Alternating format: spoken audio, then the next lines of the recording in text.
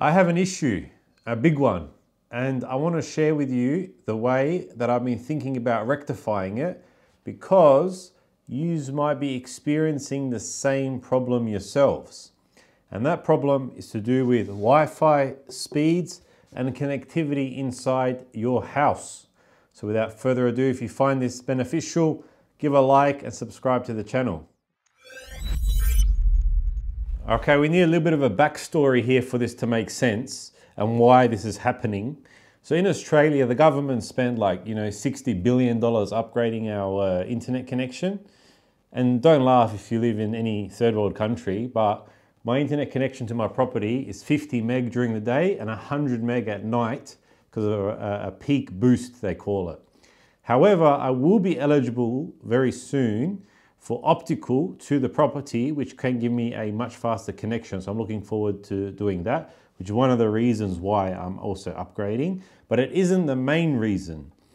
This thing here next to me is Telstra's, which is an internet provider here in Australia. They give you a modem router with 4G backup. So if internet goes down, no problem, switches over to 4G and you're using your, your credit from there. However, this is the second one I've had. I actually had the second generation. This is the third generation. So this is black, the old one was white. You guys might have it at home as well. The thing is, it's very interesting. If you look behind me, you'll see I have smart home devices. These smart home devices run on a band called 2.4 gigahertz. And it took me a while to work out with the initial problem originally, but these routers broadcast in dual band meaning 2.4 and 5.8 on the same network. What happens is you can go into the modem and you can disable and only have it run on one. But as I explained, these smart home devices run on 2.4 gigahertz. Now the first modem actually went faulty in a way which is unique because the 2.4 gigahertz band just stopped working.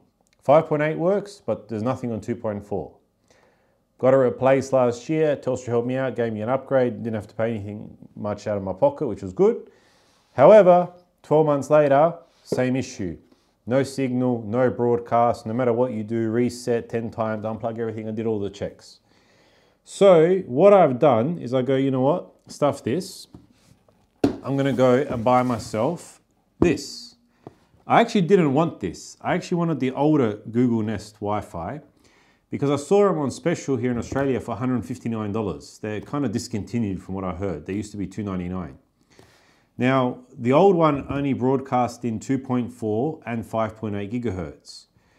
But after upgrading my MacBook Pro to the new one, as you guys have seen on the channel in other videos, that can actually support 6E, so you're broadcasting obviously in the 2.4, 5.8 and 6 gigahertz. So it's a tri-band router.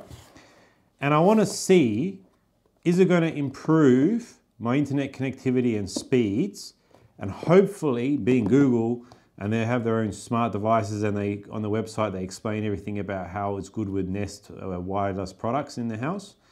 I want to see if this does a better job than what that did on the 5.8. Well, it's dead anyway, so it does work in 5.8, but doesn't work on anything else. This one here, I got lucky. It's normally like $370. Uh, I found it at Officeworks. Uh, they match an online price. I got it for $260. So 100 bucks more, $95 extra. And I'm gonna go with a bit of an upgrade. So let's dive right in. Smash it open.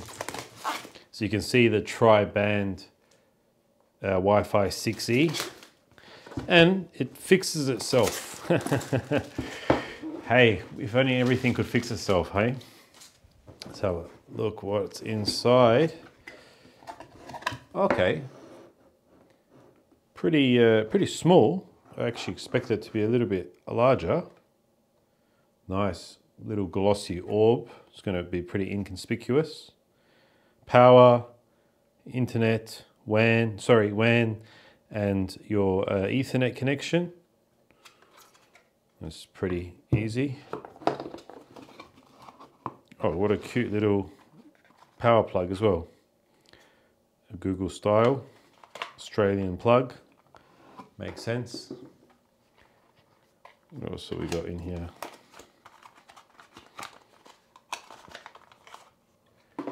we've got a um, Ethernet connection. Cool. Nice white cable. Nothing else in there. So how the how do we set it up? Hey, that's the fun stuff. So just before I completely disconnect the uh, old device, I thought to show you the speeds that I'm getting on the old one. So this is my MacBook Pro connected on 5.8 gigahertz. And I'm getting around 50 megs a second, 52 megs. And my iPhone as well, if I run it at the same time, that'll make a massive difference. It's running at around seven or eight. And this is something I want to see if it will get fixed uh, when I change the uh, router over in a second. So roughly, yeah, roughly about 15 megabytes uh, upload. And on the iPhone, it's about two. So not extremely fast speeds. That's what I was uh, talking about earlier. So I just thought to share with you guys where I placed the Google Wi-Fi Pro and my cat's uh, getting involved. Uh, it was supposed to be in that cabinet underneath the television, but I realized that for really Wi-Fi, you want to have it exposed as much as possible. And it produced way too much heat being inside of the cabinet. And it's acting like a little TV management uh, cable hider thingy. So it kind of worked out okay. As you can see, it's pretty inconspicuous. So if you want to place them around your house, you won't really tend to notice it. So setting it up was pretty straightforward. You need to install the Google Home app, which I luckily already had installed.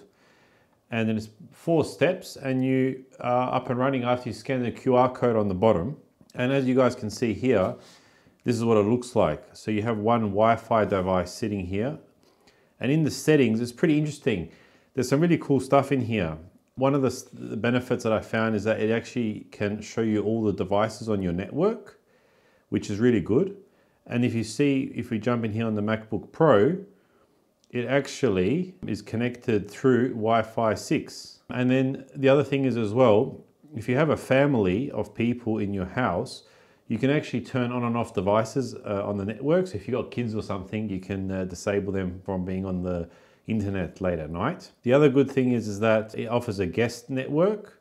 So if you want to set up a, a, private network just for guests, you don't have to put them onto your own uh, main network, which is really good. But there's not really much settings. The only thing that I did in here was uh, under deeper network settings is advanced settings. See here how it says WPA3 and IPv6. I have these both turned off just to enable compatibility with my smart home. It was a little bit annoying because I obviously had to go and reset every single device. And if you guys have smart appliances, it's actually really interesting. The LIFX uh, app and the Nanoleaf app actually didn't detect the devices, but the Google Smart Home app did. So that's something for you guys to uh, consider as well if you run into that issue that I did. However, everything seems to be working really well at the moment and it's all connected and my laptop's on Wi-Fi 6 and all my smart home devices are running on 2.4 and whatever is connected on 5.8 is connected on 5.8. Now, is that any faster from an internet speed perspective? Let's have a look. Like I said, the internet speed is capped pretty much around 50 megabytes. So we're gonna see what the computer speed is like. We're gonna run that test. And it's you know 3 a.m. so I hardly doubt there's many people and congestion on the network. And as you can see here, I'm getting about 40 to 50 megabytes. And the speed that's on my iPhone, if you guys can leave a comment below, because I can't get the iPhone to run any faster than 7 meg. And that's even on the old Wi-Fi network that I had connected before. These iPhone 13 Pros, as far as I'm aware, have actually a 6E uh, modem in here, so it should be running at a higher and faster speed.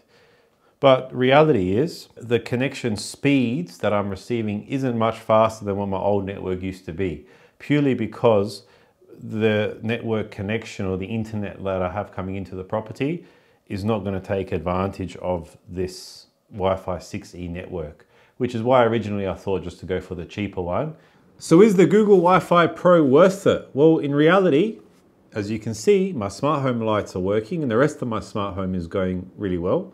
It wasn't perfect. I did have to reset the network a couple of times to actually get everything connected. And after a couple of days, I noticed things would disconnect. but for the last week it's been working pretty much seamlessly. And it also seems to work a lot faster. So when I press the, the home app on the uh, iPhone to turn lights on and off, or I use Siri, it connects without any uh, challenges and it seems to turn on and off faster, which is a little bit different to what I had previously with the old uh, Telstra modem. The other thing is that the little puck that they gave, it's uh, a little bit annoying because you can't plug other devices uh, next to it. It takes up too much space. So, you know, Google fix that one for us, please.